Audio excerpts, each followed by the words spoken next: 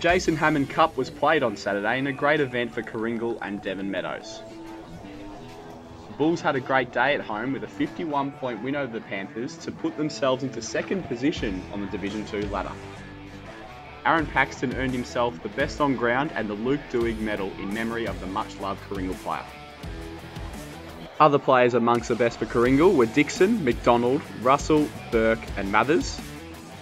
Goal kickers for Karingal were McGuinness with two, Mathers, Myvek, Hurst, McDonald, Russell, Jameson, Stanley, and Burke all contributing with one. For Devon Meadows, the goal kickers were Orst, O'Hare, and Theodoritis, and their best players were Fletcher, Kerr, and Boland. Next round after the interleague break, Karingal will play Red Hill at home, and Devon Meadows will look to improve against Crib Point away. For all weekly wrap ups, download the GameFace Digital Record app from the Google Play Store or App Store now. Get your Game Face on.